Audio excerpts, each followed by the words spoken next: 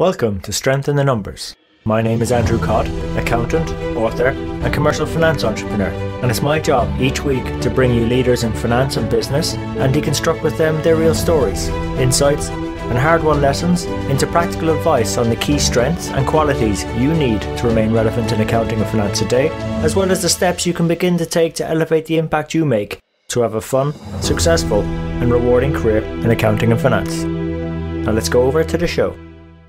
Hi, everyone, and welcome to this week's episode of Strength in the Numbers. Now, with all the talk of digital finance, a lot of traditional finance and some of the activities we've done in the past tends to get overlooked. So, how much of your organization or even your clients' finance activities are being either outsourced or offshored at the moment? Well, with barriers to knowledge transfer diminishing, outsourcing is moving more upmarket uh, from those lower level transaction processing back office tasks into the higher value treasury, mergers and acquisitions, FP&A, just to name but a few. However, far from being a threat, uh, these developments are also a great opportunity for finance professionals to add even more value to the bottom line of their businesses. So, look, these are just some of the topics our guest mentor Jamie McBrien and I cover on today's episode. And Jamie brings such great stories of what's going on in this space, some things I wasn't even aware of. And we have a bit of a giggle as well. And some of the things we actually go into a bit more depth are a practical tip that we can all do to improve our success in our finance transformation implementations. The importance of taking the time to engage and discover a bit more patience in ourselves and the type of value that will help us deliver. Also, the drivers behind finance offshoring and outsourcing, moving up market and we get in underneath those. And that's where there's perhaps some career opportunities for some of us. And also advice on how finance professionals can remain relevant in the face of the offshoring and its move up market. So, look, hope you enjoyed this episode. If you did, please let your friends and colleagues know and check out the time-stamped show notes at sitnshow.com slash podcast slash 080. There you'll find ways to connect with today's guest mentor, Jamie, but also some time-stamped show notes to take you to the sections of the conversation most important to you, and also some of the key quotes that we've pulled out and also links to the resources that we mentioned on the show. So look, I really enjoyed this. I love Jamie's stories. He's such a great storyteller and these things are really happening. So look, it's jam packed with value. Hope you enjoy it. So without further ado, over to Jamie and the show.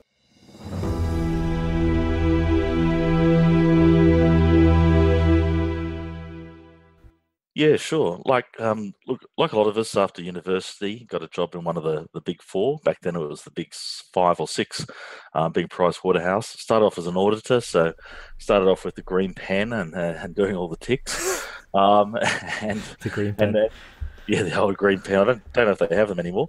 Um, uh, moved on, moved on from the green pen and and um, into risk management with Deloitte. Um, spent a number of years in there, moving into consulting um, around accounting and finance operations, uh, helping organisations and the CFO think about how they can improve and driving process transformation initiatives um, across the finance um, spectrum. Uh, from there, worked for a, a smaller consulting business, but um, out of the UK, although in their Australian office. Um, again, doing accounting and finance uh, consulting. Um, until 10 years ago, we um, left that business, a few of us, and walked across the street to open a new business. Um, two of them now, Optum 2, a consulting business that helps CFOs think about how they can assess and improve their finance operating model, process, and structure, and Opti BPO, which is a where a bigger focus is these days, which is helping clients plan, build, and manage offshore teams in the Philippines, with a big focus on building accounting and finance teams in the Philippines. There are two different two areas I'd love to spend some more time talking about in a moment, Jamie. But I suppose in terms of your career, there's a lot of us on our journeys at the moment. Like in terms of that journey from practice into the more commercial world, you know, do any sort of particular moments stand out in your mind? There's there's a lot of moments that, that stand up. I guess one of them was um, realizing that um, auditing wasn't for me. I think a few of our audience could relate to that. So, um, so why was that? Uh, early early on in my career, I, I often joked that I had to get promoted because I wasn't very good at the detail. Um, so they had to get me out of the detail by giving me a promotion. So I look, I, I think it was, I think it was um, that that was that was an important part. Look, a lot of nearly all of my career since then has been focused on process and structure. Uh, and look, I think that's really where my strengths lies. Thinking about well, what's the right operating model? Um, how do we drive the, the improvement? Uh, and I guess that's where I've where I've seen uh, you know a lot of the excitement in my career is when you've been able to put forward recommendations and advice that organisations have implemented and executed um, that have seen them be successful. And and I suppose look, some of our audience would would like to maybe understand how we can improve our chances of, of those implementations being successful. Would there be any sort of practical tips you could share with us? Maybe a, few steps, perhaps, Jamie, to uh, to allow us to be a bit more successful when it comes to those implementations. Yeah, look, look I, I think a, really important part is is making sure that we get a detailed understanding of the the current state and engaging all of the right stakeholders on the way through. Uh, I was just speaking to a client today. We're helping them with their offshoring strategy, and part of that, and a key part of that, is getting the, the, the processes right. Um, and he was saying to me, "Well, do we need it?" He says, "We kind of already know where we want to get to." He says, "Why don't we just start getting the getting? Yeah. Well, why don't we just start moving there?" Yeah. Um, and had to have the conversation with him to say, "Well, look, a big part of the the, the process piece is I think all of us know intuitively that uh, doing this as a profession what good looks like. And we all know where we want to get to. Yeah. Uh, but it's bringing everyone else along on that journey with you um, and getting them to understand that as well. I often forget, and it's easy as a professional that consults on this on a day to day basis, that all of these things that are in my head on how things should work um, aren't necessarily in everyone else's head. Yeah. Um, so it's it's it's it, it's understanding that that does take time. And look, I'm a uh, I'm a person that can be easily frustrated. I can I can be impatient, um, just just like everyone else. But it is making sure that you do spend that time um, to get the understanding of people's concerns. Yeah, because that's very important. I'm delighted you you mentioned that. In fact, I, was just thinking about a conversation I was having early today, Jamie, myself, with someone that you know, I, I find that impatience, and we all know. I mean, that's a great thing about being finance. We know how things should be connecting together and what the outcome should probably look like, particularly if we've done some financial uh, cost benefit analysis on it. But yep. with that impatience, sometimes we can come across as very condescending and not perhaps bring people with us on the journey. I, I know I've done that. I'll hold my hand up and, and it's sort of I'm, try, I'm a recovering yep. condescender type of thing, or I'm trying to be more patient.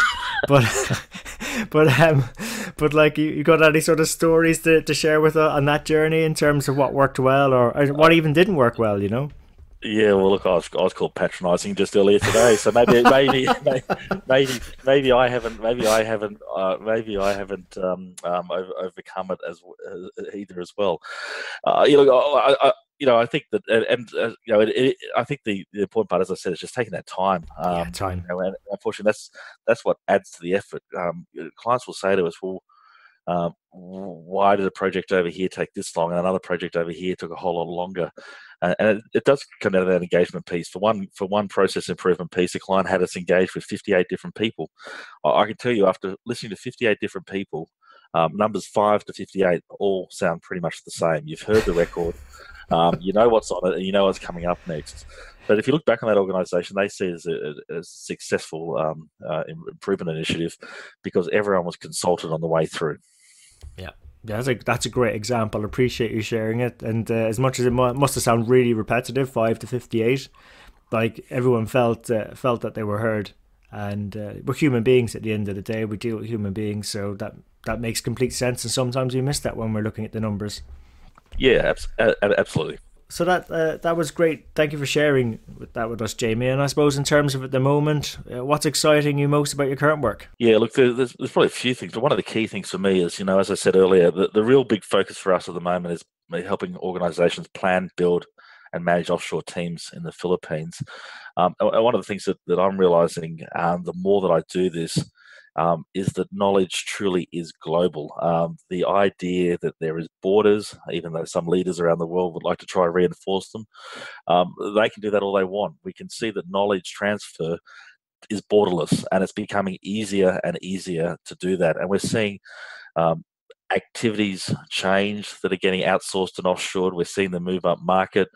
Um, you know, 10, 15 years ago when I started doing this, um, you'd be offshoring accounts payable. Um, we've just um, uh, hired a team uh, and a, a, team leader who's going to be the global treasurer for a business um, wow. sitting in the, the, offshore location. Um, we've got financial planning and analysis people um, sitting in the offshore location. I've got some M and A people. So realizing that this knowledge is global and easily transferable, and not while while it's not accounting and finance directly related. I went to a client the other day. They're an industrial business, so I hit the buzzer on their gate and um, uh, the lady introduced herself. Hi, it's such and such. Um, who are you? And I said, look, it's Jamie. I know who you are. Um, where are you sitting? And this this client was sitting in Perth. The woman on the gate answering the gate was sitting in the Philippines, oh, wow. uh, and, and and then opened the gate for me. And uh, and and and while that's just a small example, it just really is an example that the idea that geography is a constraint um, is getting reduced um, really, really rapidly. Uh, and, and, look, that, that, that, that excites me because I think it's a democratization yeah. um, you know, of knowledge, and, and, that, that sharing is fantastic. Uh, and that's only a positive for the whole world. Yeah, like you used the word uh, democratization. I think that's a much nicer word than I call it like vaporization. It's like um, you know all this technology is just allowing us to uh, to transfer knowledge much more easily, just putting it out there into the ether and you know, like uh, finance professionals, we could probably look at that two ways. One, we, we could be terrified of it because it puts some of our traditional um, ownership of the knowledge and power base at risk. On the other hand, it allows us to get information out there faster, more easily, and do something with it and connect more dots. So, um, and uh, that's what really excites me about what you're doing, Jamie, is that particularly that it's it's not just your traditional compliance and transactional type roles. You know, when you use the word upmarket, I imagine you're moving into the business partnering space, particularly if you're mentioning things like FP&A or M&A, quite yep. uh, commercially focused um, positions. You know, you know, how, how did that come about, or is that something clients want? I mean, how did you get into into providing those type of services? Yeah, look, it, it, it is an evolution. One of the things that's interesting for me is that some of these areas that our that we go into with our clients are, are driven by them. Um, they've they've done the basics. You know, they've they've done the accounts payable, the receivable, the general accounting, the month end. They've got all of those outsourced in a global shared service supporting the supporting the world.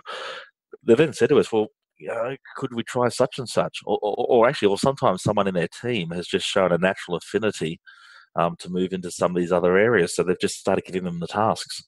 Um, and you know, we've we've had a lot of clients that go, well, uh, and once or twice with, with this global treasury analyst, I went, never done that before, and they, I actually said to them, feel free to, I said, I said, feel free to try hire that same person um, onshore.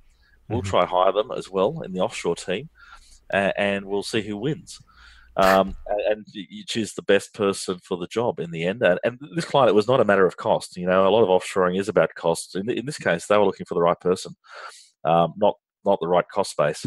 Um, and we provided them with a range of candidates of which they were shocked at the capability of. And I, to be honest, I was kind of shocked as well when I read these resumes of people with some vast and deep experience um, that was exactly on, on, on target for what this client wanted. Yeah, like that. That's one of the, the challenges I find, like as a finance leader, is you know there's always a focus on finance being a cost center and cost and sometimes we are forced or challenged to look at offshoring. And by the way like i'm, I'm a user of offshoring and, and i completely support it. Um, and, but i wouldn't support it just from a cost perspective. You have to have the right people too. Um, because ultimately it's about value creation. Now the thing is I, I would lay down a challenge to a lot of finance professionals out there. There's many capable people around the world. I mean, it's no accident this podcast is being listened to, like at the current count, in over 120 countries, because people want to learn out how to to add more value in finance, create value for their companies. So if you've got someone that can create almost equal value, but one's got a different cost base, then again, with the focus being so much in finance on cost, then then more than likely offshore becomes a real option.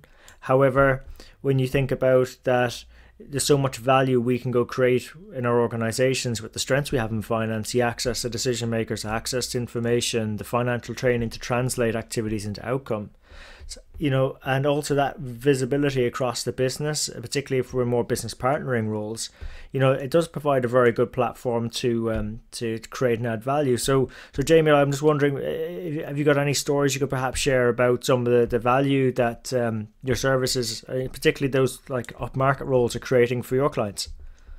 Yeah, and I, I, I'd like to. Yeah, I, I'll, I will make sure I answer that. But I'd like to reflect on one of your earlier, one of the earlier part of that conversation you were just having. We had a client that that was that was truly against the idea of offshoring and outsourcing, um, and uh, she was, you know, I'd come into the office and I'd, I'd get the the cold shoulder. Um, all of a sudden, I came in one day and she changed her attitude completely. Wanted to have coffee with me. Wanted to talk about how okay. we're going to do things. Uh, and I, I said, "Oh, I, I, did have to raise it with her." I said, "Look, what's changed?" I, I realised yeah. I wasn't your best friend earlier.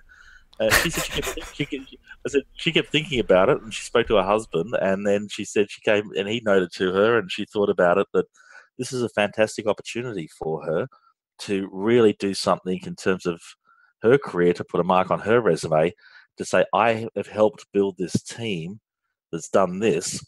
Um, and you know that looks fantastic. She said rather than being the person that, that gets asked to move on because they wouldn't engage on something that was going to happen anyway. So there was this fantastic um, change in attitude with her and, and their team now that we've had with us for two years. Um, and she's still part of the, the business and still one of our uh, key clients. Uh, when I spoke to her recently, I said, well, you know, when you measure your offshore team, because uh, one of the criticisms, one of the things you'll hear is, well, the offshore team's not going to be as good. Um, and, and, she said, if you graph the two of them from you know two or three years ago to now, then this team does purchasing and payments, so it's easily measurable. Um, she said it's clear that the offshore team is performing at a level that the onshore team never did. Um, so not only are they they, they they're cheaper, um, they're uh, a lower cost base. Cheap is probably a poor choice of words. Yeah, yeah. Um, they're, they're doing a better job um, and, they're, they're, they're performing against all, all metrics. Uh, so it's it's a it's a fairly strong business case and a great story for her to say, and they're a private equity owned business. We've saved eight hundred thousand dollars a year, year on year, and I've driven the project to offshore it, and we've got better performance metrics than what we've ever had. So it's a it's a great story when it comes together like that, and it's a great example that she can show where she's demonstrated value to the bottom line um, and, and, to to driving a better business outcome. But that's that's where that's where finance needs to go. It doesn't matter what organization you're in. I mean, it's about creating value, helping create value for our businesses, and that means as much as sometimes we're viewed as a cost center, we have to think profit or bottom line value. You know, and I think it comes out a lot in these conversations with our guest mentors that you know if if you look at the end of our days you have to ask yourselves a question is like did we drive value today or did we create value for our businesses if we did then there's a sustainable job for, for us there. And actually, that's not a bad career you mentioned. Is actually getting into um, offshoring and actually setting up these teams because that's another way of driving bottom line value uh, to the business. Yeah, uh, this uh, the guy I met at a barbecue, so not a not a client, uh, but he was telling me how, how through um, he was a, a, financial controller of a business, and he said that he was given himself the objective to make himself redundant in a two year period mm-hmm. um, through building his outsourced team. Um, he was given uh, an incentive to do that, uh, and he was saying it was one of the. He said it sounds strange when your your job is to do yourself out of a job, uh, but he said it was a fairly rewarding project. He says over a two year period to uh, build the outsourced team, transition that all of that activity. Um, then he kept building up the team. Then he actually even hired his own replacement, uh, uh, which he then handed over to at the right point. They all agreed, and he moved on and sailed off into the sunset. Um, and, and, and, found another role. And, and he, he, said to me, he said, I said, well, uh, um, he said that he says you're a pretty wanted person. He says when you've been able to demonstrate you can do that in your career. Yeah. Uh, so um, yeah, because it, it's a no brainer. You're going to more than likely have dollar amount savings to the bottom line, and if you're dealing with you know specialists in this space, you're probably going to improve the outcomes as well or benchmark that you're comparing against. So it's it's actually quite a uh, probably could be a good lucrative career to get into. You may not be with a company for a long period of time, but I imagine there's plenty of companies out there looking at this space. I'm thinking probably medium-sized organizations as opposed to large ones because um, the medium ones may not necessarily have the scale scale economies to, to do it for many full-time people but there may be opportunities to at least um, off, offshore or take on some of their um, activities or common activities across uh, multiple companies. So, so do you find your clients are a particular size, Jamie, or where's sort of the demand for these types of services? Yeah, look, that's that's a really good um, uh, lead in. Um, typically our clients are that middle market. Look, and everyone defines the middle market differently. Um, we define it as between 50 and around 500 people. Of course, we have clients that are bigger than that, and we have some that are smaller than that. Everyone, everyone does. But but that that, that middle market is is interesting for me in that the the bigger end of town will have a you know a, CFO that's sometimes even removed from the accounting function and the transactional pieces. But you know, 500 person company turning over you know a, billion revenue or something around that around that mark will often have a single senior uh, a CFO, an FP&A person, maybe a commercial manager, um, and there may be a team of 20 or 30 in the accounting function. Um, so, so those sort of functions are the ones that that they're not going to have expertise internally to run these sort of projects. Um, bigger companies will, or they may. Um, so they're, they're at a size where they're never going to have someone on their books that's going to be doing this, um, but they will have someone that can come in and help them do it. And, and, we see that's where the big opportunity is for us. The big end of town sorts these things out themselves internally. Yeah, yeah. Um, the, the, middle part of town needs to have that advice, and, and that's kind of the service that we provide. Yeah, and, and I suppose you know for for those in the existing positions in those sort of middle market companies, like is there, is there any advice you could maybe share with those finance professionals in terms of how they can remain relevant and, and continue to add value to their organizations? Yeah, I, I think it's uh, it's a it's a willingness to understand that things are going to change regardless. Um, you know, we always get told that automation is going to kill outsourcing. I disagree completely. Um, but um, for me, I just think it changes the nature of the outsourcing because people are still going to be needed in terms of what they do. There's always things coming along, be it automation, be it outsourcing, that is reducing um, those lower level transactional roles, further automating them. Um, and, and, there's a need then for finance people to continuously reskill themselves, to continuously really change what it is that they're, they're looking to achieve. Uh, and, so, you know, that's an important part of being open to it. Uh, just like this lady or that client who at first was against it, kind of realized there's not a there's not a big future in being against some of these initiatives for you. Yeah. Um, you've kind of got to get on the get on the bus, um, build up your knowledge around it, understand what works and doesn't work. Because if your organization is going to embark on this strategy, and you can put your hand up and say, "Well, I know a fair bit about this," um, you're going to be a valuable person in that business to help them be successful. Exactly, and I, I, like the way you sort of asked the two questions there. But like, what doesn't work? I think that's that's a really good area where it can be complemented by existing accounting and finance uh, professionals to to extract even more value from the whole process. So I think that's really important too. Is that um, there is opportunity even where people may be, be fearful of it, and this change or nature of change isn't going away. It's here to stay, and if anything, it's going to become more and more which uh, which sort of lead me on to the future, I guess, a bit, James. So, like, what would be your, your sort of priorities for the next, say, twelve months? Yeah, one of the interesting things for me, um, if you can't tell by my accent, I'm, I'm from Australia and I'm based here in Australia. Um, we have we have we have offices in London, which um, have Australians and Germans and a few others. We don't have that many British people actually in our London office. might, uh, and and we, and we have a US business as well. One of the interesting things for me is that even though, and I was in America three weeks ago speaking to clients, that even though the US invented offshoring um, at the big end of town uh, once you step below that, it's it's it's a it's a concept that is foreign to them in many regards. Uh, I met with uh, 10, 15 clients um, three weeks ago on potential clients, and they were sitting there saying, "Really, people are doing this? You can do this in a middle-sized business."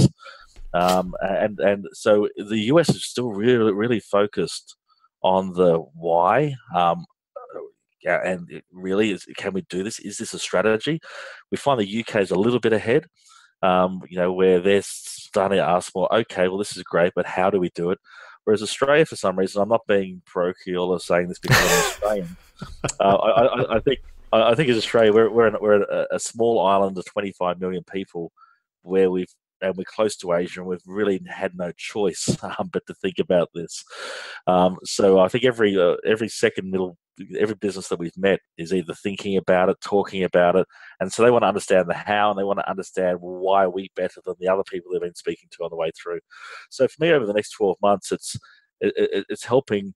Uh, build up some of that knowledge, uh, and I said, yeah, the US is a is is a bit of a strange one in that regard on some of these things, even around automation. You know, they often you'll go to a client, they'll still have a check signing machine, and again, nothing, not having a go here at the US, but there's, there's the, the, each each each place is a, a different level of its Of maturity. So, so so we see the opportunity um, in, in helping drive this forward as an initiative and as a as a firm um, in those other parts of the world.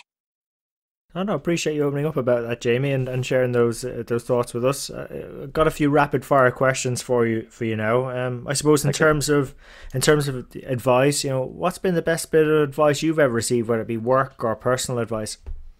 Yeah, it's, I, I, it's always funny. You, you rack your brain trying to remember who told you these things. I, I, I, I, can't, I can't for the, I can't for the life of me. But, uh, but, but one of the things I was told uh, early on that's always stuck with me is that if you have a business mission statement or a personal mission statement that no one would ever argue against, it's a poor it's a poor mission statement. You know, for example, um, we aim to be the best at X, um, and this person said, "Well, no one's going to argue against that. No one's ever going to say, well, you shouldn't be the best at X." Mm. Uh, says you need you need to make sure you put forward a, a mission statement that people might dislike, or they might challenge, or they might ask questions about. Um, because then you've got the right one. If you've got the answers to the challenges and the questions, and it's not just a motherhood statement, then you've really thought it through. Hmm. Interesting. Interesting. Yeah, that's uh, so. Is it like something you're constantly developing then, or is that something like how how does that work in practice? Yeah, look, oh, we always think about it in terms of our own business and, and, and our proposition. That you know, um, mm-hmm. um, we, we we spend a fair bit of time on on our words. Um, we always say pl- that what we do, we help clients plan, build, and manage offshore teams we've thought about each of those words and words and what plan means and what manage means and what build means. Mm-hmm. Um, and and yeah, that's something we're always challenging ourselves to, to, to think about. And so and then people can come back and say, well, what do you mean by plan? What do you mean by manage? Mm-hmm. Um, and, and I think this person was right that often you'll see people describe what they do or what they want to be, and it's to be the best provider of such and such in a region, or it's to be uh, you know, all of those sort of things again, which which really don't set you apart. Yeah. Yeah, no, that's that's a re- really interesting thought. Never really thought about it like that. And of course, you've you've chosen verbs as well, so they're actually with an action to do something. So I like I, li- I like that, and I like the fact that um you know you've already got a view. I mean, I I like the fact that it potentially opens up conversations, and conversations lead to opportunities. So um, they're value creating in themselves. So yeah, so like yeah, that. absolutely. So I like that, and I suppose Jamie, if there was maybe a book you've come across in your travels, a resource you'd recommend our audience, uh, what might that be?